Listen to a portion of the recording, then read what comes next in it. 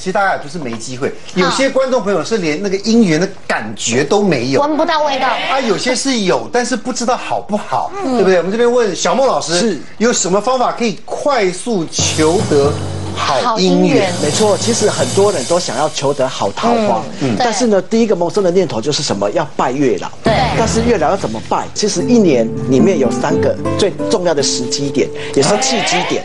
哪三个？哪三个吗？桃花能量最强的时刻。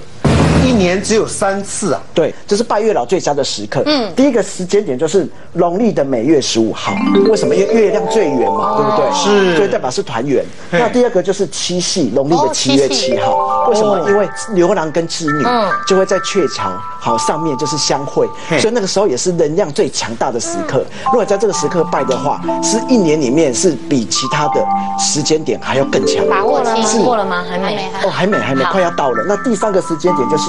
月老的圣诞月，这是农历的八月。那除了这个之外呢，其实老师也要推荐一个超灵验的一个方法，比这个还要更灵验的，就是加码的。加回，加回，加码，对，是是是，你的金山财神庙对面，有没有听过金山财神庙？金山财神庙听过，对对对面有一个月老庙，有一个月老庙，因为它有很多很奇特的设计。嗯，那我们来看看它有什么样的奇特的设计。嗯，第一个就是有爱情的油桶。为什么？因为这是把你的爱，然后表达给我们的上天，然后就可以投到这个油桶里面，然后去把它烧掉。而且就是你还要写书文，我们要传达你在地上的一些恋情，比如说像爱呀，哦，你可以写说，哎，我跟前男友会不会复合？好，那你哎不用吧，就是把它写完之后就丢到里面去，然后我们就要禀天告地，好，然后或者是你一直为什么都是单身的原因为何？那我们可以写一写，然后我们传给月老。哦，这个就是一个金炉哦，要是 email 给月老的意思。对对对对对对。那第二个步骤呢，就是我们可以要净化负磁场，所以我们要走鹊桥，哦，幸福鹊桥，没错，我们要把你的负面磁场把它给消掉、清掉。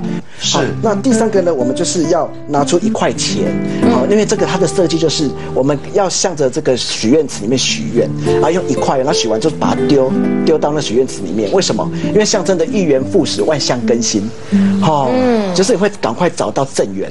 嗯。那拜完之后我们要去哪里？要到对面的财神庙。嗯。为什么？因为你要找到一个有有钱的啦，是不是？我们不只要要感情而已，因为有些来的感情是没钱、没工作的，那我们就是要两个都要。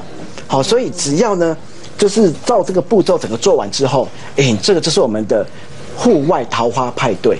那另外呢，其实呢，小孟老师也会在八月二十七号七夕的这个礼拜天，也会在。金山万里的月老庙举办唯一今年大型的桃花派对，然后老师会教你怎么样的终结单身，然后我们要巴结月老，要怎么巴结才是最强的，然后打造完美的姻缘，你要赶快来报名哦。哦，谢谢，快点快点，这边已经有两个要报名，对，要要要，妈妈，我们现场都遇到。